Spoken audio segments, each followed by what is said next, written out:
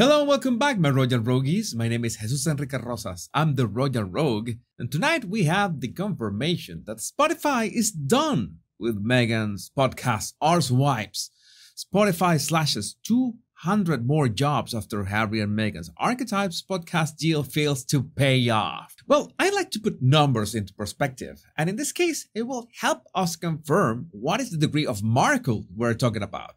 While these 200 employees represent only 2% of Spotify's workforce, we need to remember that Spotify's podcast business per se is around 7 to 9% of their total listening time. Because Spotify is mainly about music, so 2% of the workforce is non negligible. But what does Meghan have to do with this? Well, you'll remember that she was offered a contract of 100 million to produce I don't know how many episodes or seasons, but at least put her name to it. I have said many times that this could be a strategy to just generate headlines, but at 100 million, well, that's an obscenely costly strategy. In the end, we win because this is material for endless memes, parodies, and satires such as this from the upper lip. Spotify offers Meghan 100 million to stop doing podcasts. Well, that sounds like a good deal. But you can't tell me it's not suspicious when the woman who signed Meghan into the deal, Dawn Ostroff, was let go from Spotify.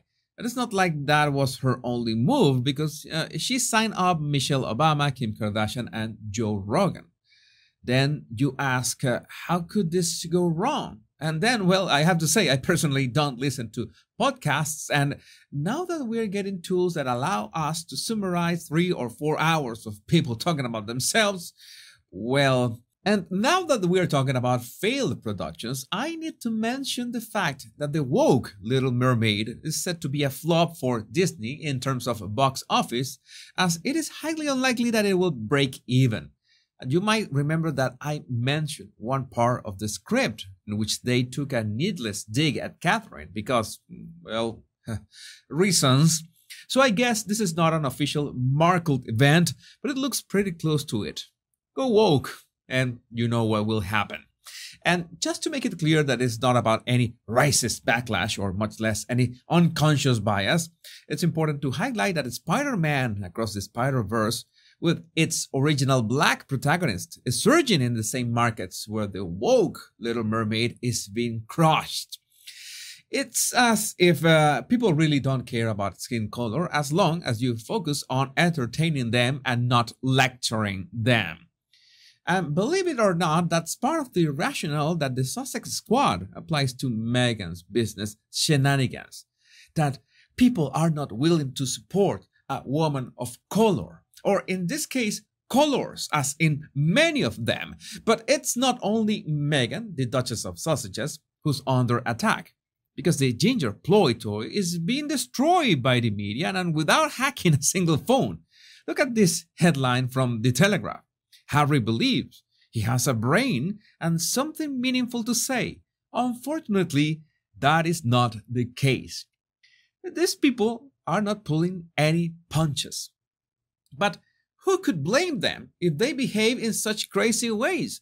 By the way, we got a flying influencer who's a flight attendant for American Airlines. He got a surprised copy of a Spare as some kind of tip, a gift. But yes, I thought this was absurd enough, but I gave it a thought. This was a nice gesture because you know that flight attendants have to deal with dozens of people on a daily basis. People that are stressed because you know that traveling or flying can be stressful. So if at any point someone is uh, misbehaving or a smile and being polite doesn't cut it, he can just grab his copy of his Spare and threaten the passengers to read it aloud over the PA system.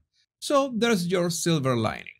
And he will not be giving any other books on flights for some time because we also have a confirmation that the Monty Shit Show duo have been banned from King Charles' birthday parade for the next weekend.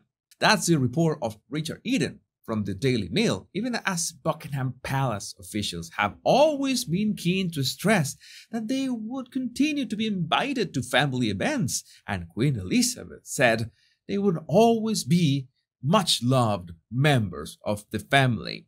But this will be the first time in Harry's life that he will not be welcome the monarch's official birthday celebrations.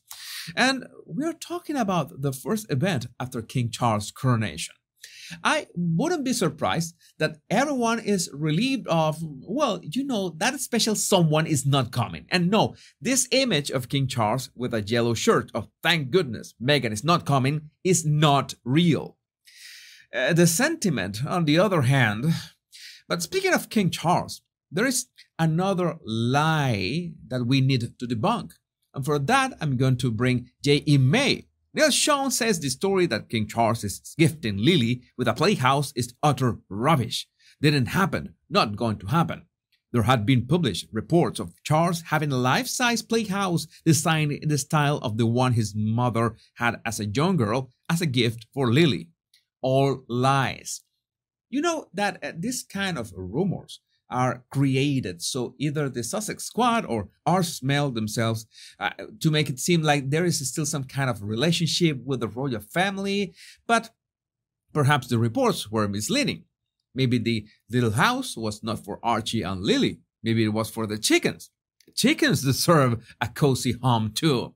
And I would like to start a conversation around this tweet from Evans E.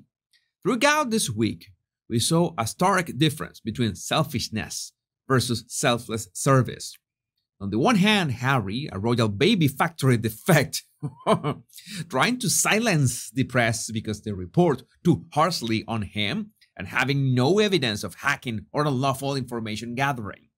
On the other hand, we saw all working members of the royal family celebrating others, promoting causes, and in dignity supporting the crown, even the non-working royals, Princess Eugenie and Duchess of Kent, uplifted worthy causes. Meanwhile, someone decided to write a letter of 12 font Times New Roman a month after Archie's birthday, hand out a copy of the oversupplied spare to a TikToker for favorable promotion, and then claim they donated 10,000 for books in the UK. Harry and Meghan are undignified. They must lose their titles.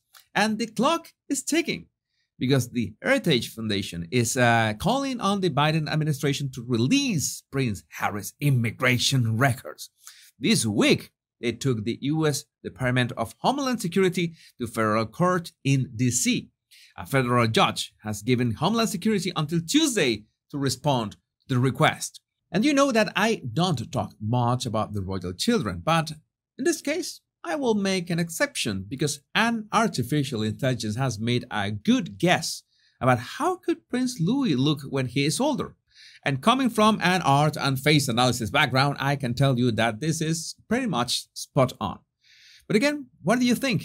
I would love to read your opinions in the comments. My Royal Rogues, we are really close to 130,000 by this point, so all you have to do is hit the like and subscribe buttons so you don't miss any of my daily royal memes and news. The two most important words, much love and bliss.